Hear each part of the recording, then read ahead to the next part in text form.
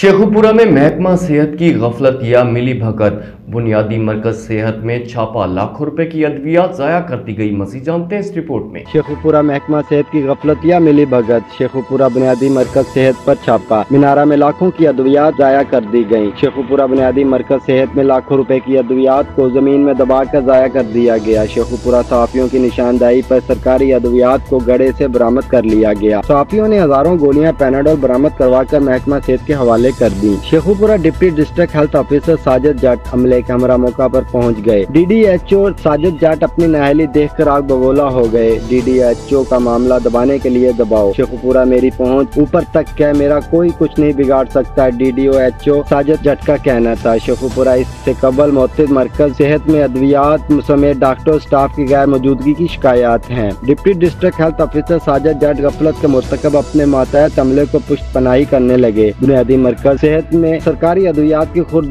जलाने और जया करने का मैकेनिक शॉप